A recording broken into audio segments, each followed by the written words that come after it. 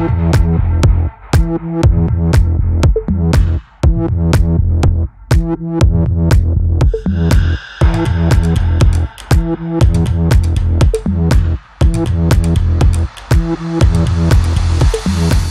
bin auf die NASPA aufmerksam geworden dadurch, dass ich einfach immer Mathe schon cool fand und ein Wirtschaftsabitur gemacht habe. Und dementsprechend hat sich der Weg dann für mich hier ergeben. Ich durfte dann das duale Studium mit der NASPA zusammen machen. Und jetzt ist es so, dass ich das Trainee starten durfte hier im Firmenkundenbereich, wo ich auch schon immer hin wollte.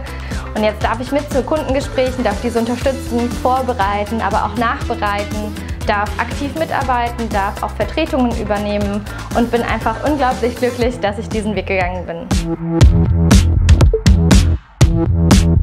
Man hatte immer Personen, die um einen herum waren, die mit einem den Weg gegangen sind, die mit einem auch das Studium absolviert hatten. Man hatte immer jemanden zum Ansprechen und Fragen stellen, man hatte immer Unterstützung. Also man war eigentlich nie alleine.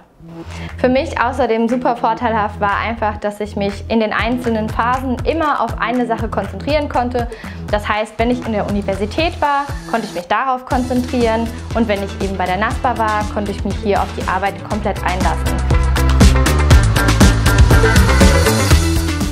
Besonders schätze ich an der NASPA im Sinne des Leitbildes das Thema Partnerschaft, weil gerade hier im Firmenkundenbereich können wir die Firmen von Anfang an, von der Gründung als Startup bis hin zur Nachfolgeregelung und auch währenddessen einfach immer unterstützen. Wir bekommen die Möglichkeit, Einblicke zu erhalten und wir haben einfach immer eine partnerschaftliche Beziehung und können immer unterstützen.